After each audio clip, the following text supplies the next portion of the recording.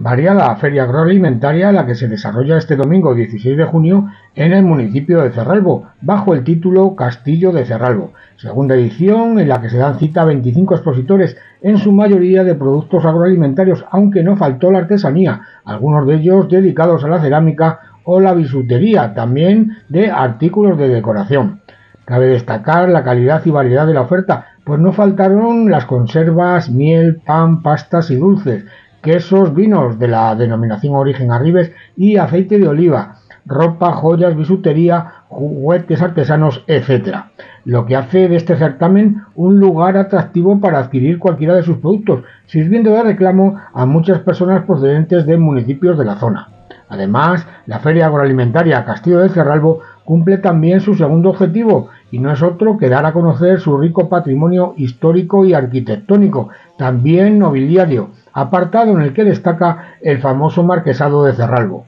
La alcaldesa del municipio, Cristina González, agradeció la participación de los expositores y la presencia de autoridades, entre los que se encontraban los diputados provinciales de Deportes y de Turismo, Jesús María Ortiz y Juan Carlos Zaballos, respectivamente, así como la alcaldesa de San Felices de los Gallegos y los alcaldes de Umbrales, Sobradillo, La Redonda, Baño Várez y Olmedo de Camaces, además de varios concejales de algunos de los municipios de Lavadengo. En su intervención, la regidora agradeció el apoyo de la Diputación de Salamanca para la realización de la feria, tanto el económico como el simbólico, con la presencia de los dos diputados. La escuchamos.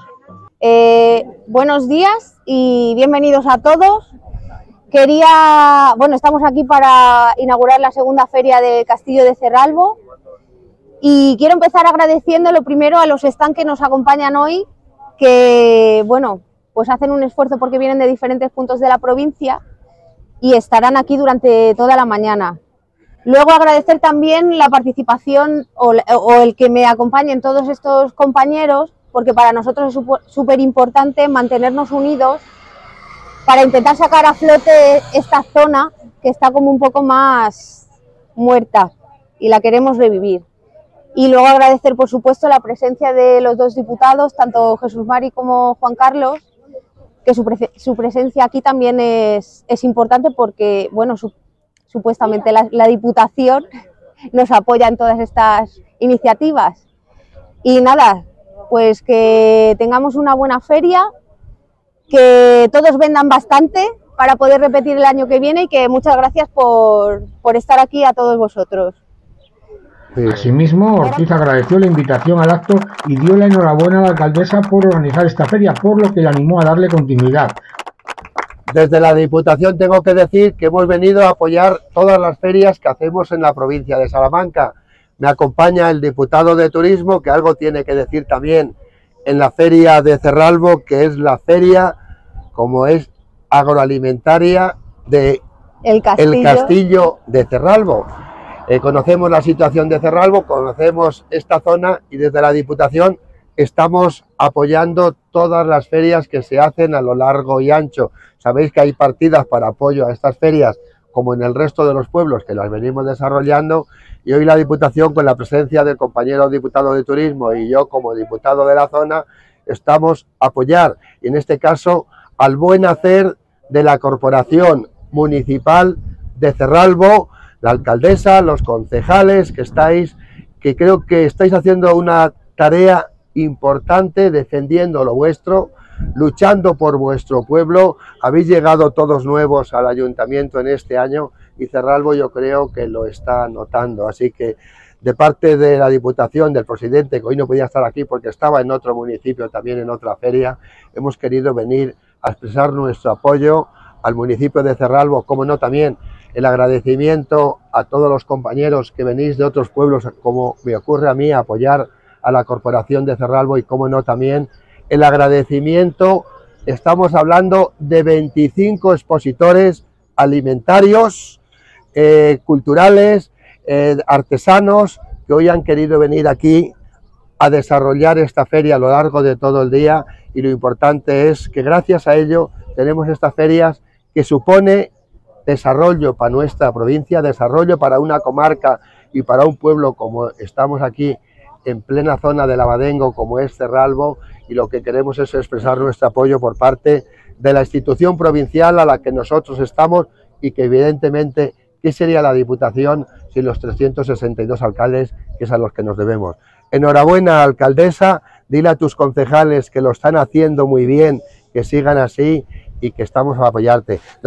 Por su parte, el diputado de Turismo, Juan Carlos Zaballos, destacó los recursos turísticos de las Arribes, a la vez que felicitó a la alcaldesa de Cerralbo por el nombre elegido para esta feria, pues contribuye a la promoción de la historia y el patrimonio arquitectónico de la localidad.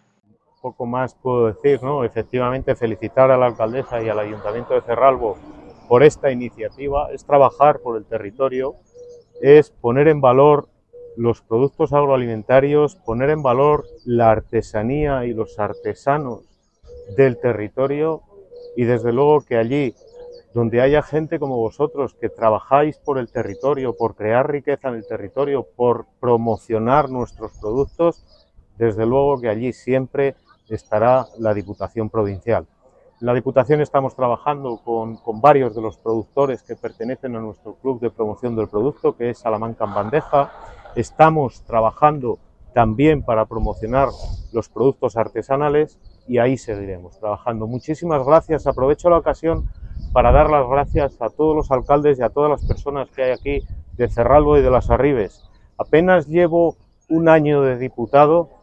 eh, ya he venido varias veces, sobre todo el compañero Jesús Mari se preocupa de que venga mucho a su zona, a su comarca, a su territorio y tengo que decir que me encanta,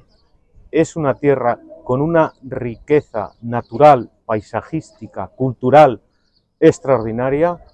eh, también arquitectónica, alcaldesa, le felicito por el nombre de la, de la feria, porque reivindica el patrimonio de Cerralbo, Feria Agroalimentaria Castillo de Cerralbo,